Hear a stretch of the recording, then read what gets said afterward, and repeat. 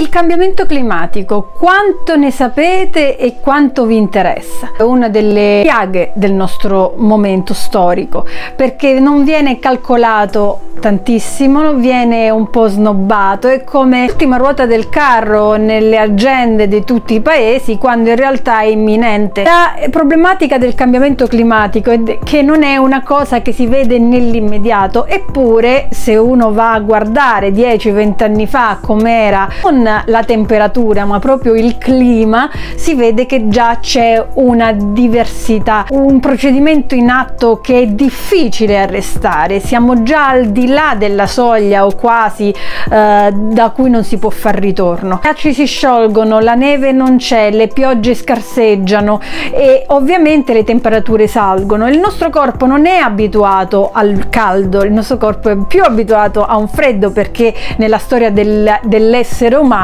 è più abituato a un freddo. La cosa che non si capisce del cambiamento climatico è che non è dobbiamo salvare la terra, ma cos'è la terra? Se la terra si intende la roccia dove stiamo,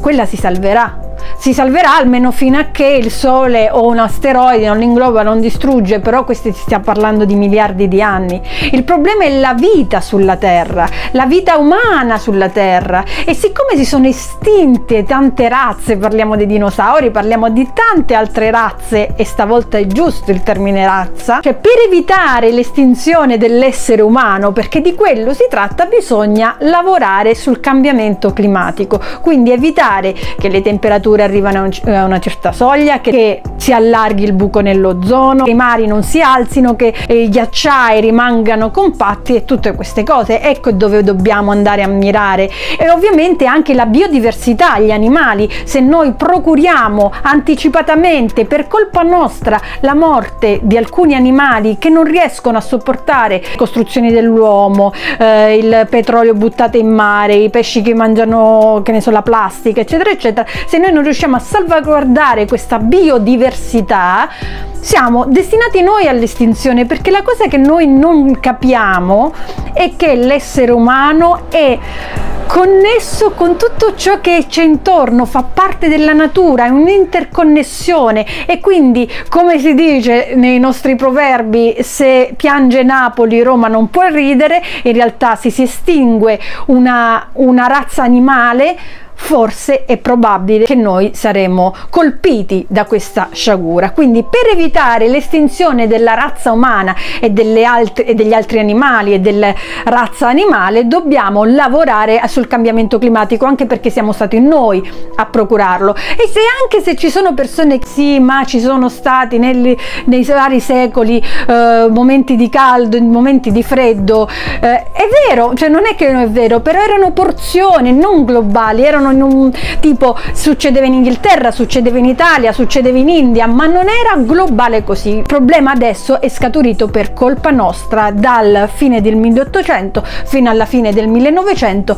e a, oltre perché anche adesso non ci siamo fermati. L'estrazione dei materiali dal, dal sottosuolo, perché se noi estraiamo il petrolio, non è che il petrolio è qualcosa che è nato così, fare plastica, petrolio, il petrolio non è altro che un cuscinetto che si è depositato in nei corsi dei millenni ed è diventato petrolio. Senza andare sullo specifico, che probabilmente non è la sede adatta e soprattutto non sono io la persona adatta a parlarne, vorrei consigliarvi un libro, un libro di fantascienza scritto da Kim Stanley Robinson, uno dei più grandi della fantascienza, ho vinto premi, eccetera, scritto da Fanucci Editori che si intitola Il Ministero per il futuro. Il Ministero per il futuro. Questo libro perché è importante? Perché è vero, è un libro di fantascienza fantascienza è vero, è distopico cronico, come vogliamo chiamarlo, quindi è nella branca della fantascienza e quindi la fantascienza, la fantascienza uno pensa che sia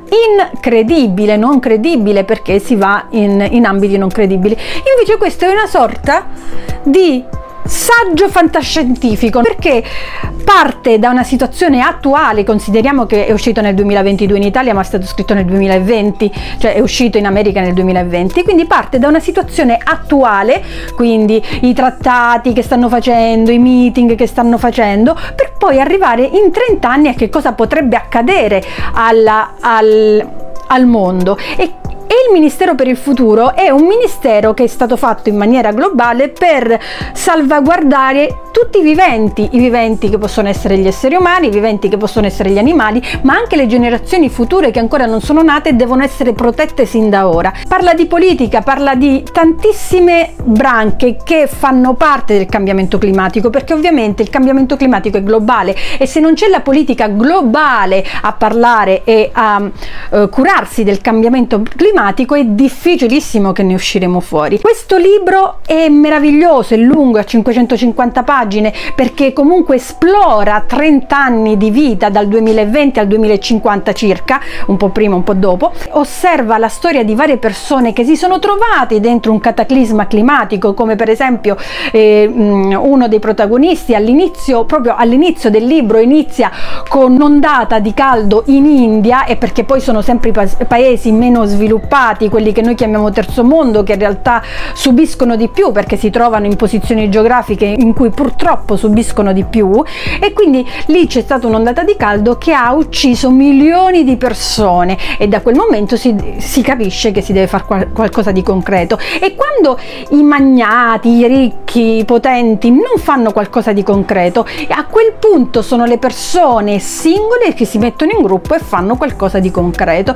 E questa è anche una cosa che succede e succederà se non la smettiamo di pensare solamente all'icet nunc, cioè a pensare a ora. Questo libro per tutte le persone che hanno a cuore il cambiamento climatico, ma anche a quelli che vogliono saperne di più sul cambiamento climatico, anche quelli che non riescono a capire da qui a dieci anni cosa potrebbe succedere. Questo è un libro consigliatissimo, ovviamente uno scrittore eccellente, Robinson ha vinto tantissimi premi e quindi anche scritto in maniera eccellente, ci sono delle parti di alta letteratura e quindi quello che vi posso consigliare, quello che vi consiglio ovviamente è fate la vostra parte sul cambiamento climatico perché ognuno di noi può fare la propria parte e leggete Il Ministero per il Futuro di Robinson, edito da Fanucci. Consigliatissimissimissimo!